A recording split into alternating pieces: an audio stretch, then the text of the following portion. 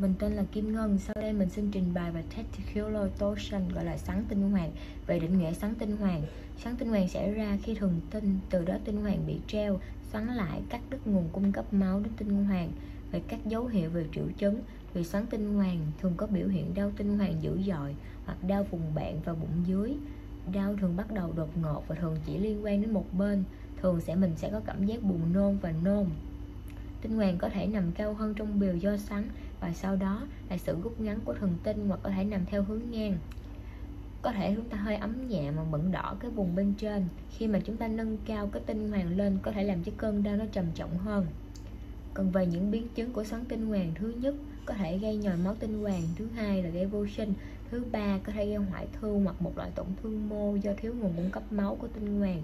Thứ tư là nhiễm trùng huyết thì hiếm gặp khoảng 0,03 phần trăm nếu không được điều trị trong thời gian dài, có thể dẫn đến nhiễm trùng huyết, nhiễm trùng nặng sẽ đe dọa đến tính mạng, tổn thương qua đường máu và nội tạng.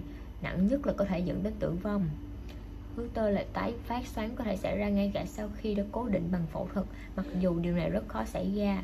Cuối cùng có thể ảnh hưởng tâm lý khi bị mất một cái tinh hoàn. Và đây là một cái hình ảnh về siêu âm Doppler màu của tinh hoàn bên trái, cho thấy một cái tổn thương hội âm vô mạch với trung tâm giảm âm.